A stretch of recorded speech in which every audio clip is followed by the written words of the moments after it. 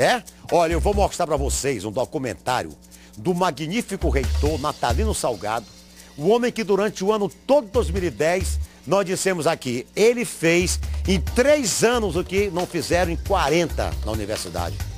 Preste bem atenção para o trabalho magnífico do reitor Natalino Salgado nesse último dia do ano, para você ter a certeza e a convicção de que nós temos uma universidade hoje mudada, transformada para melhor, atingindo realmente um nivelamento como deseja o Ministério da Educação e Cultura. Confira, joga no ar.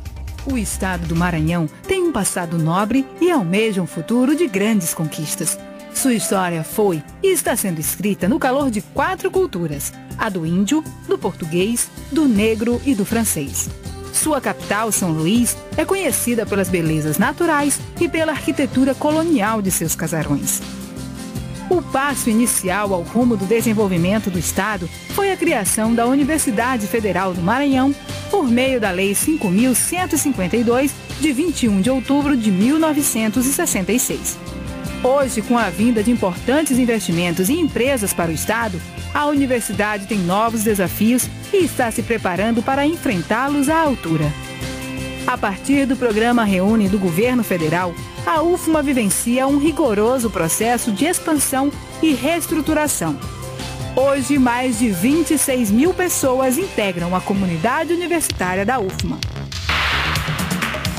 A UFMA mantinha apenas dois campi, com o projeto de expansão e interiorização implantados a partir de 2008, a universidade chega em 2010 com a consolidação de oito campi no estado: Bacabal, Chapadinha, Codó, Grajaú, Imperatriz, Pinheiro, Bernardo e São Luís, o Campus 7. Hoje a UFMA possui 1.285 docentes, dos quais 80% são mestres e doutores.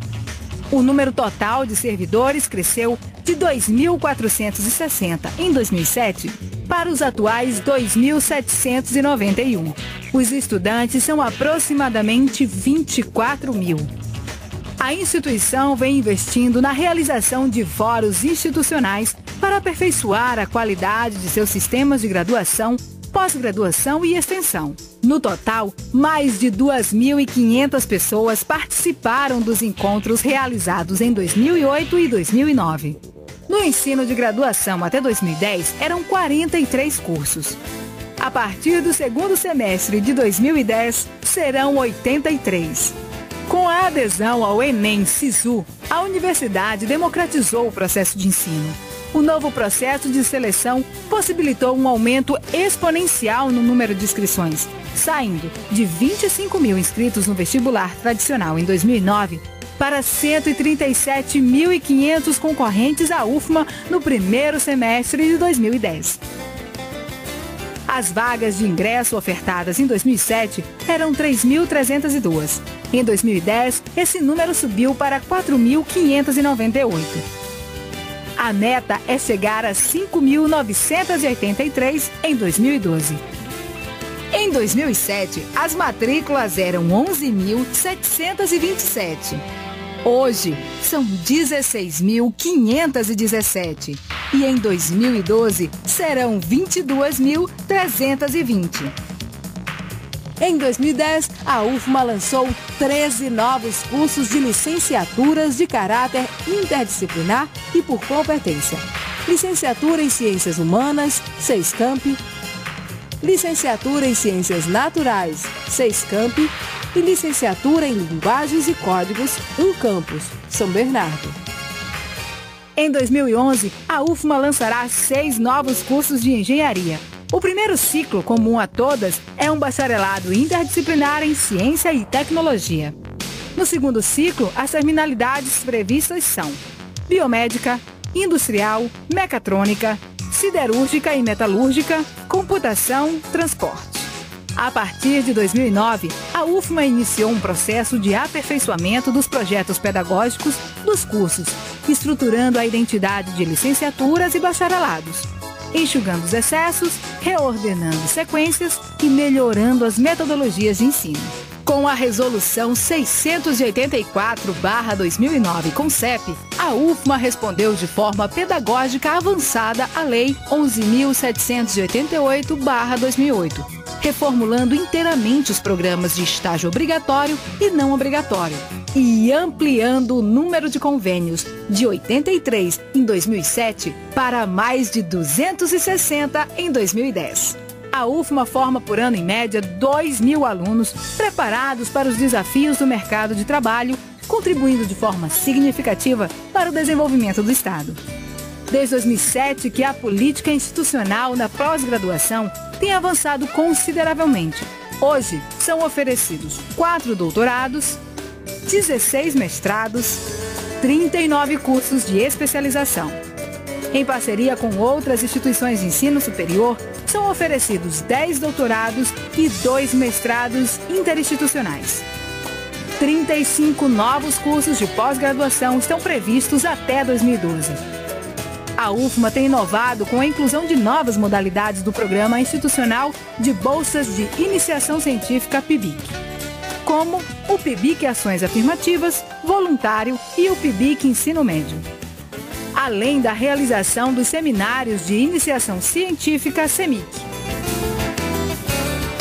As várias ações extensionistas realizadas pela UFMA se desenvolveu em diferentes áreas: comunicação, cultura, educação, trabalho, tecnologia, meio ambiente e saúde.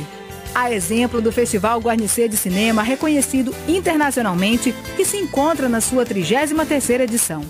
E também na educação, com o bem-sucedido programa da Universidade Integrada da Terceira Idade, UNIT. Os projetos, programas, cursos e eventos tiveram um crescimento bastante significativo nos últimos três anos.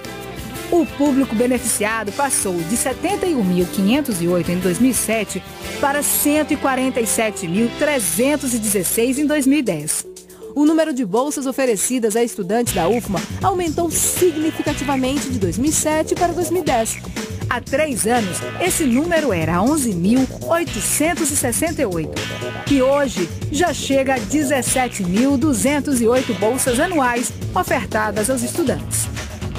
No restaurante universitário, completamente reformado e equipado, a comunidade acadêmica pode desfrutar de um cardápio variado, de qualidade, rico em nutrientes e com a orientação e supervisão de profissionais da área. Em 2007, eram oferecidas 1.032 refeições. E em 2010, esse número já chega a 2.520 refeições por dia. No registro da educação à distância, em 2007 a UFMA mantinha apenas um polo de educação à distância, com apenas 500 alunos matriculados em cursos de extensão. Em 2010, esse número subiu para 24 polos e 14.694 estudantes matriculados em cursos de graduação e pós-graduação. A universidade também avança nos programas de interiorização. Hoje, a UFMA chega em 54 municípios com programas como o de formação de professores para educação básica, graduação para leigos, educação no campo, pedagogia da terra, entre outros. Na internacionalização, desde 2008, a Universidade Federal do Maranhão integra o Grupo Coimbra de Universidades Brasileiras uma das mais importantes do país, com 40 instituições de ensino superior conveniadas. A mobilidade acadêmica tem se consolidado na universidade. Em 2007, a UFMA mantinha apenas seis convênios internacionais. Hoje, já são mais de 60. O Museu Memorial do Palácio Cristo Rei, sede diplomática da reitoria, é um dos guardiões da história de São Luís e está localizado no centro histórico da cidade. A sua construção é um exemplo da arquitetura ludovicense do século XIX. Após um ano de reformas, a casa foi reaberta em 2009 para visitação. O Hospital Universitário possui 576 leitos hospitalares, sendo 62 de UTIs, distribuídos em dois prédios, que juntos somam cerca de 48 mil metros quadrados. O hospital é estratégico no atendimento de alta complexidade. Com o certificado ISO 9001 e 9002 em desenvolvimento de pesquisas científicas, o hospital é referência em diversas áreas, com várias premiações em nível nacional.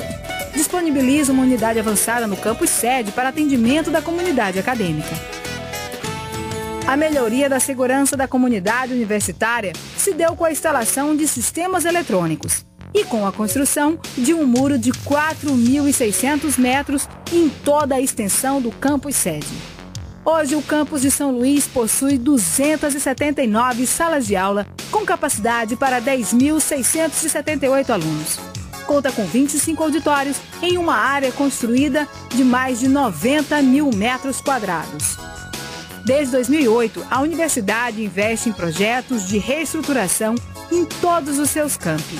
Em São Luís, estão sendo construídas diversas edificações e prédios estão sendo reformados. Foram investidos recursos para a construção do novo pórtico de entrada, Casa da Justiça, poncha acústica, restaurante self-service, reestruturação do auditório central, núcleo de esportes, prédio de tecnologia da informação, áreas verdes e bibliotecas setoriais. O Programa de Políticas Públicas de Excelência e Padrão Internacional e o de Educação, que estão entre os mais antigos da UFMA, ganharam modernas instalações.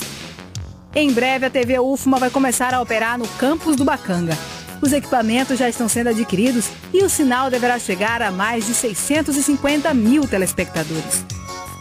Até o fim de 2010 será construído o Centro Pedagógico Paulo Freire, com 60 salas de aula, um auditório com capacidade para 500 lugares, área de exposição, restaurante self-service, além de uma área de vivência.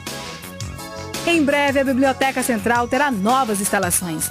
Um prédio moderno de arquitetura arrojada, auditório para 260 lugares, com galeria de exposição e um dos mais significativos acervos para a literatura no Maranhão.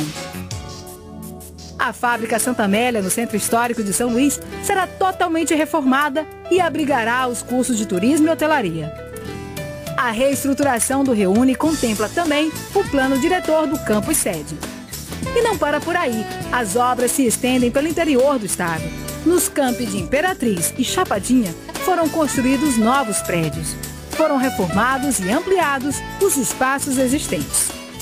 No campo de São Bernardo, Grajaú, Codó, Pinheiro e Bacabal estão sendo construídos prédios principais com modernas instalações.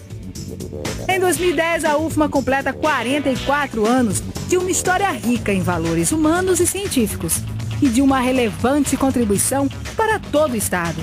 Com o Reúne, a universidade se insere num projeto de expansão de ensino para promover a democratização da educação e fomentar as iniciativas em pesquisas e em extensão. Faça parte desse projeto de vigorosa transformação da Universidade Federal do Maranhão. Instituição que cresce com inovação e inclusão social.